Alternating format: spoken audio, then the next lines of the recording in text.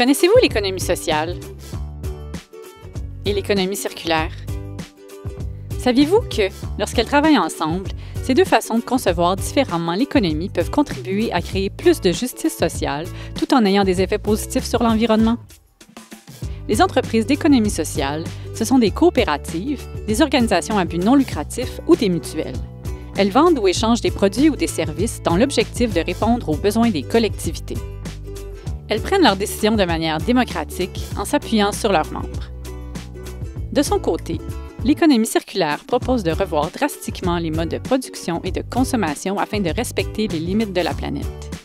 Elle vise à ce que les citoyens et citoyennes, tout comme les entreprises, réduisent leur consommation et utilisent le plus souvent et le plus longtemps possible les matières qui sont déjà en circulation. Ces deux formes d'économie partagent des principes communs, comme la collaboration et l'ancrage local. Ensemble, elles peuvent se compléter et multiplier leurs effets. L'économie circulaire peut apporter de nouvelles occasions d'affaires aux entreprises d'économie sociale et leur permettre de réduire leur impact environnemental. L'économie sociale, elle, peut apporter un cadre de valeur à l'économie circulaire.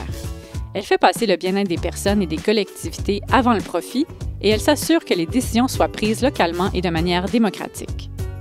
En développant l'économie circulaire à travers les entreprises d'économie sociale, on stimule des changements systémiques qui peuvent transformer le modèle économique actuel. On s'assure aussi que la transition socio-écologique sera juste et inclusive, qu'elle répondra aux besoins des collectivités et qu'elle ne laissera personne derrière. L'économie sociale et l'économie circulaire, c'est un véritable duo d'impact.